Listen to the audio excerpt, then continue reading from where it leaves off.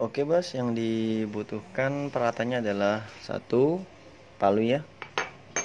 Yang kedua ada gunting.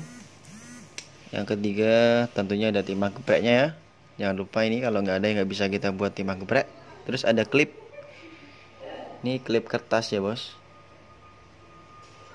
Oke, patis, ada PE dan ada senar ya. Senar warna-warni ya, kili-kili pancing ini. Ini banyak sekali toko pancing bos. Tinggal beli saja. Saya beli dengan harga 8000 Dapat banyak ya bos. Oke kita akan buat. Let's go.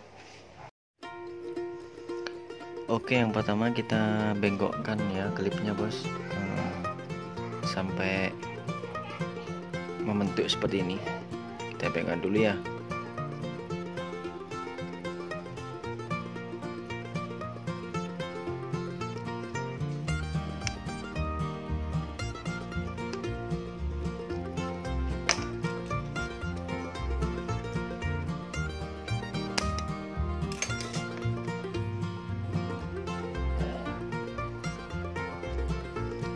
Oh iya untuk klip ini bisa memakai kawat ya. Atau tembaga yang putih bisa. Yang penting kuat bos.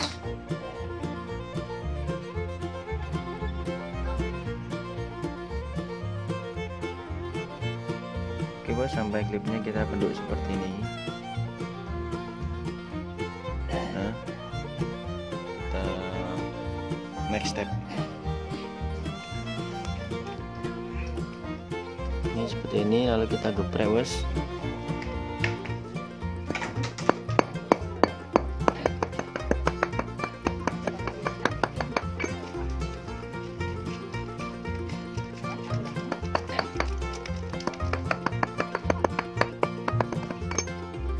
Oke bos, uh, setelah kita geprek dan jadi seperti ini, kita pasang stiker ya. Stikernya itu variasi ya bos, yang penting stiker hologram ya stikernya itu pokoknya yang uh, bisa kelap-kelip kayak gini kalau kena saya ya. Oke kita gunting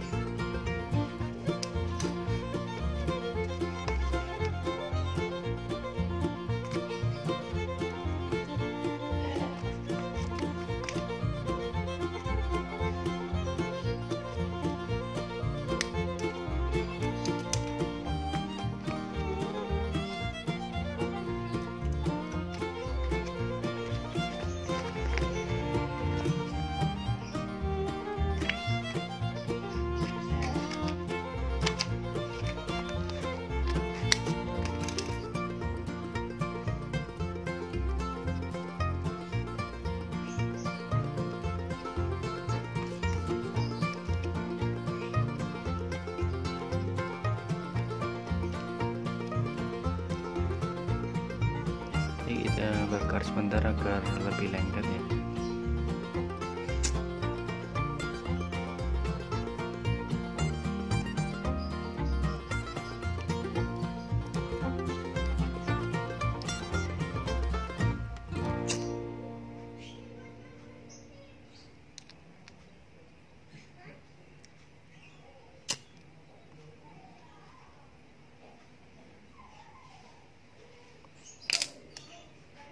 Oke kita kasih stiker lagi yang sebaliknya ya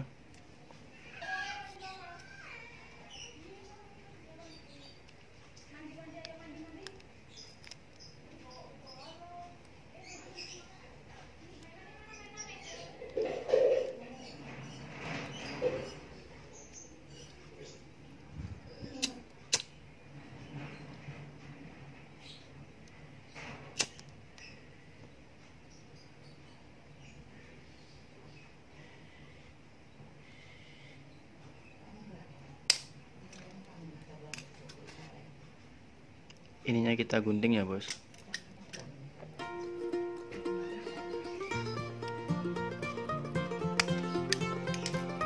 Nah.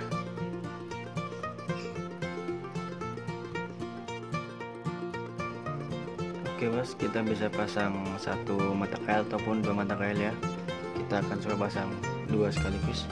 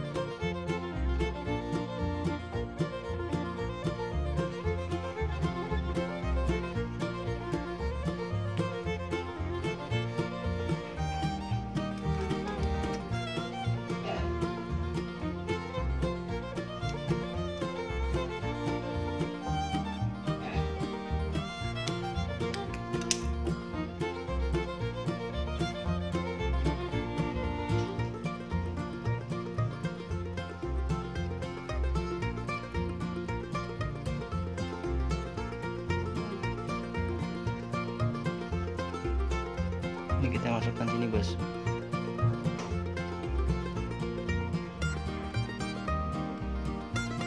Nah ini tinggal masukin aja sih kailnya. Satu.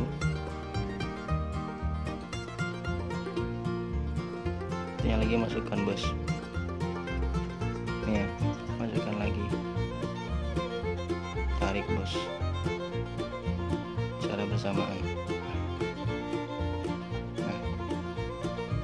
ini bisa diatur uh, panjang sama rendahnya oke kita bikin uh, rambut-rambutnya atau kili-kilinya contoh kili-kilinya seperti ini ya bos. Atau bisa pakai benang jahit. Nih. Ini kalau kata teman saya ini benang palet ya benang tenun. Yang penting ini warnanya bisa menggilap ya bos. Terserah mau pakai yang mana kalau yang ini beli di toko pancing harga 8000 ya. Kita ambil sebagian aja bos. Terus kita kailkan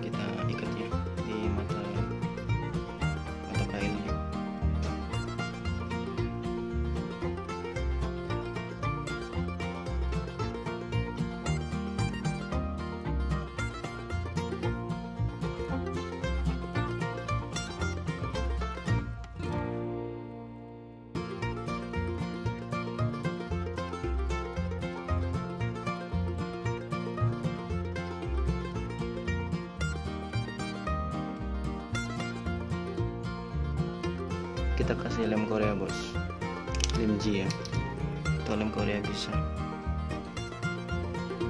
Ini kita kasih dikit aja. Udah. tunggu sampai apa kering? Oke bos. Untuk yang kail satunya lagi sama ya pemasannya seperti ini. Seperti yang kail satunya lagi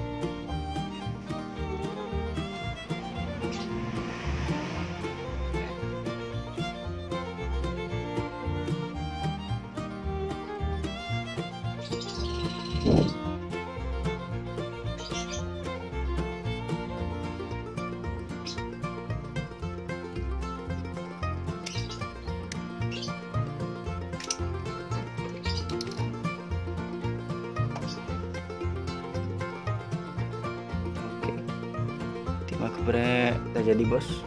Seperti ini ya. Ini kita langsung tinggal gas aja bos.